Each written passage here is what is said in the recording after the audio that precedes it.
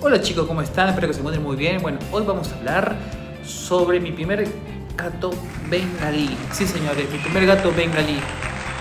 ¿Ya me ruido? Bueno, de eso les vamos a hablar. Tiene cuatro meses, eh, yo lo reservé en el mes de agosto y un criadero, por supuesto, porque mayormente los, estos tipos de gatos que son de, de raza, que son de pedigree, siempre hay que comprarlos en buen criadero, donde están bien cuidados, tienen, toda la licencia para que sean distribuidos en, su país de. Así que ahora se lo voy a mostrar. no, no, no, es súper, súper inquieto, no puedo creer. Ahora les voy a mostrar cómo es. Es muy lindo. ¡Tarán! Miren esta preciosura. Me cambió la vida, me cambió la vida. Este es, se llama Toulouse Dionisio. Bueno, el nombre de Toulouse tiene su historia, porque se llama así, porque en realidad yo lo quise llamar Dionisio.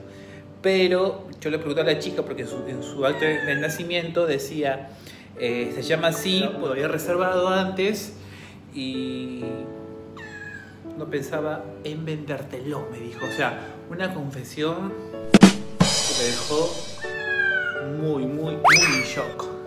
Así que bueno, este es mi gatito Miren, esta roseta que tiene. Los ojitos también son muy, son muy lindos. Lo que pasa es que acá no se puede apreciar bien porque estás en la cámara. Bueno, anda a jugar.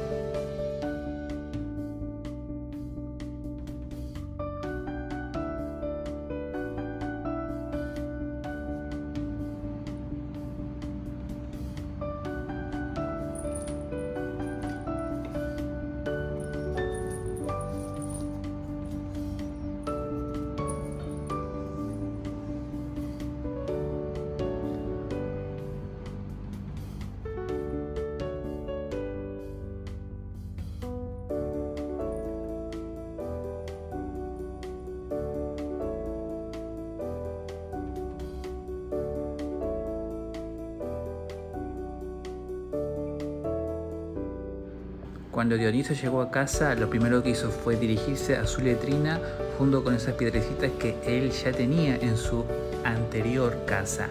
Quizás eso lo hacía sentir más seguro y más eh, contenido. Y bueno chicos, esto es por hoy.